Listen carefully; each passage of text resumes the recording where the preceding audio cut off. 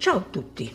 Hermine Brown Steiner si unisce al coro delle altre terribili e sadiche guardie femminili dei campi di concentramento, Ilse Koch, Maria Mandel e Irma Grise, a ognuna delle quali ho dedicato un intero video.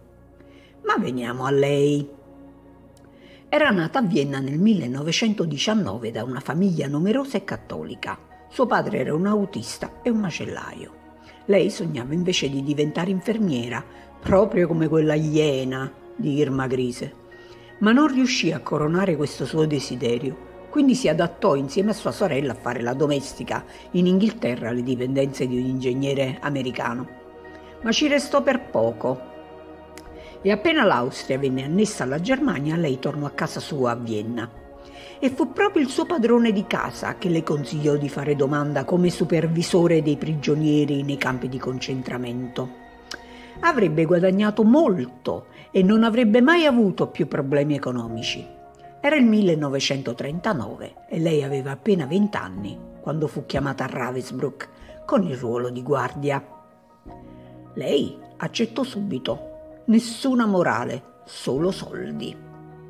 Dopo tre anni di permanenza iniziò ad avere scontri continui con Maria Mandel, altra famosa vipera, a cui però non poteva ribellarsi perché era una sua superiore. Fu per questo che chiese il trasferimento, per allontanarsi da lei e quindi abbandonò Ravensbrück per prendere servizio nel campo di Majdanek, vicino Lublino, in Polonia, dove presto assunse il ruolo di assistente di reparto. Veniva soprannominata Kobila, che in polacco significa cavalla scalciante. Non era raro infatti che prendesse a calci i prigionieri fino a schiacciarli sotto i suoi pesanti stivali con le borchie chiodate in ferro. Essendo lei la responsabile della selezione dei prigionieri, aveva pieni poteri e lei lo sapeva fin troppo bene e si arrogava il diritto di decidere della vita e della morte dei deportati, che tra l'altro colpiva brutalmente con la sua immancabile frusta confezionata appositamente per lei. Si racconta che acciuffasse per i capelli i poveri bambini destinati a morire e che li spingesse con violenza sui camion diretti verso le camere a gas. Detestava i bambini tanto da definirli bocche inutili da sfamare.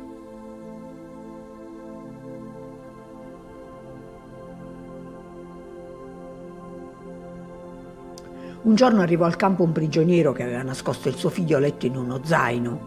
La donna si insospettì e colpì il fagotto con una frustata così forte che il bambino inevitabilmente scoppiò a piangere per il dolore.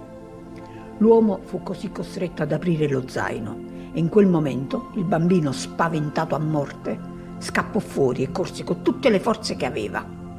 In un attimo però la donna gli fu addosso, lo strattonò con forza, gli sparò alla testa. Ma se provava odio e disprezzo per la vita dei bambini innocenti, si rivelava ancora più malvagia nei confronti delle prigioniere, giovani e molto belle, per cui provava un'infinita invidia. Le prendeva a calci e le frustava a sangue, mirando precisamente al viso, in particolare agli occhi. Erano fin troppo conosciuti e temuti i suoi scatti di ira e le sue collere selvagge. Un medico francese ricordava tristemente che la Braunsteiner inflisse 25 frustate a una povera giovane russa. La ridusse uno straccio, ma costrinse lui, che era un medico, a non curarla e a non prestarle alcun soccorso. Nel gennaio del 44 a Hermine Braunsteiner fu ordinato di lasciare Majdanek ormai evacuata e di ritornare a Ravensbrück. Ma l'armata rossa nel maggio del 45 arrivò anche là e a lei non rimase altro che darsi alla fuga. Tornò a Vienna ma venne arrestata. Rilasciata dopo meno di un anno, presto finì nuovamente sotto accusa e arrestata di nuovo nell'aprile del 48 per omicidio, infanticidio e maltrattamenti, ma solo per i crimini commessi a Ravensbrück e non per quelli di Majdanek. Anche stavolta, solo dopo un anno e mezzo venne rilasciata. Come gran parte dei criminali nazisti, anche lei si mise in fuga, smise la veste di aguzzina e indossò quella della cittadina esemplare, ricoprendo i più svariati ruoli nella società. Seppellì in un angolo del suo cuore, messo che ce l'avesse, le brutalità commesse, dimenticandole, come se non fossero mai state compiute.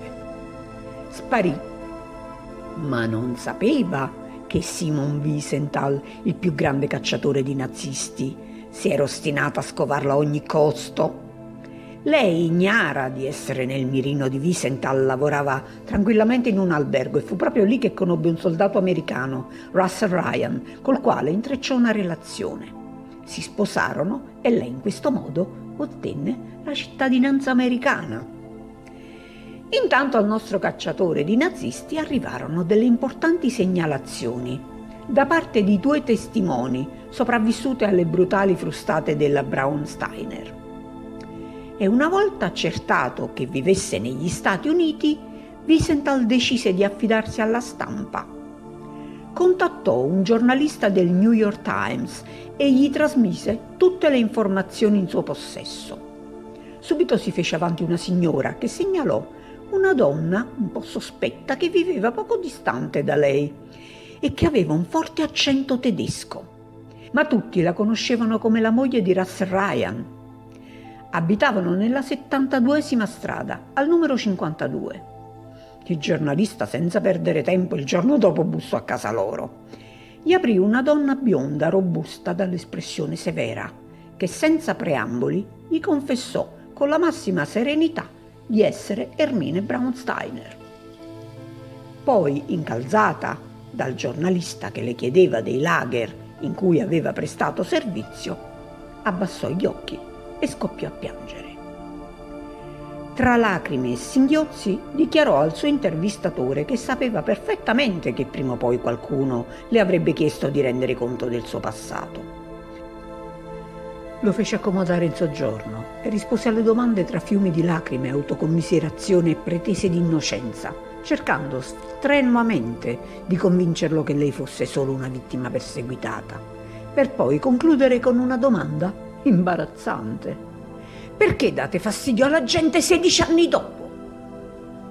Il marito invece all'oscuro di tutto rimase sbigottito si limitò però a dire che sua moglie fosse la persona più gentile sulla faccia della terra e che fosse innocente e che era stata solo costretta ad eseguire gli ordini. Le rimase accanto per tutta la vita. Ma lei intanto non aveva più speranze di cavarsela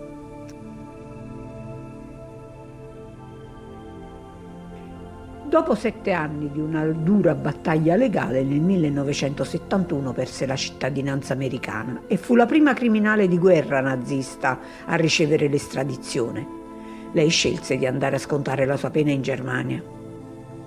Quattro anni dopo, al tribunale di Düsseldorf, dovette dare conto di tutte le atrocità che aveva commesso a Majdanek e fu così che venne condannata all'ergastolo per l'omicidio di 80 persone per favoreggiamento nell'omicidio di 102 prigionieri e per la selezione che portò a morte mille persone.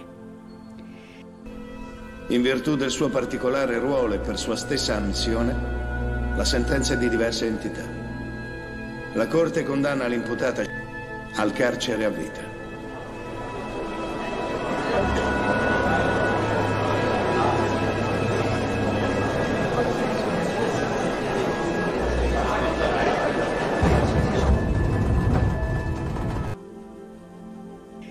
Fu rilasciata, stiamo per concludere, dal carcere nel 1996 a causa di complicazioni dovute al diabete, infatti subì un'amputazione. E così finì di scontare i suoi anni in una casa di cura. Suo marito non l'abbandonò mai, le restò vicino fino alla morte, avvenuta nel 1999. Hermine Braunsteiner se ne andò portandosi via un bagaglio pesante fatto di frustate, omicidi, violenze, soprusi difficili da immaginare. Lei si proclamò fino all'ultimo innocente, si definiva una vittima perseguitata. Il mondo degli uomini, purtroppo anche in questo caso, non ha ottenuto giustizia. Concludo questo video con una sua frase. Ho sofferto abbastanza. In fondo, ho fatto solo il mio dovere. Senza parole.